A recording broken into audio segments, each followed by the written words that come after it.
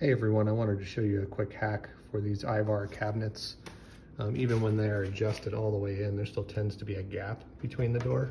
And the main adjustment for that is here, you loosen this, then you tighten that one all the way in and it'll bring the doors as close to um, the inside as possible.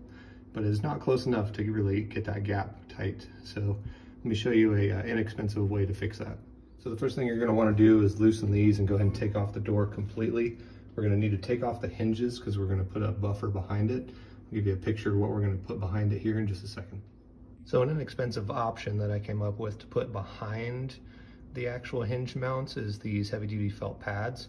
We'll use one of the one and a half inches and one of the three quarters.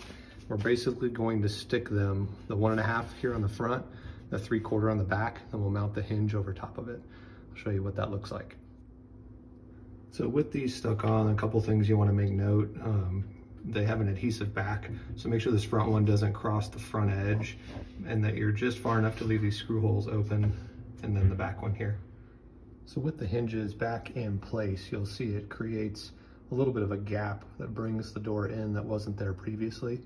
So with that, we can go ahead and get the door remounted.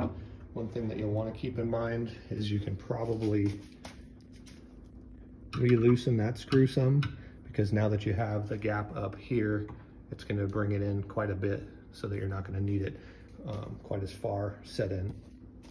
Now I'll show you what the final product looks like. So with the felt pads installed on all four bumpers, as I mentioned, you can screw these out since we won't need to have quite the offset.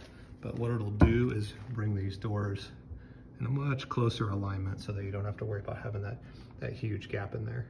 So this is what I found um, for a particularly useful and inexpensive hack to get these cabinet doors a little bit close together. Feel free to comment below if this is something that helped you out or if you have any questions. And I uh, hope it's something that you can make work.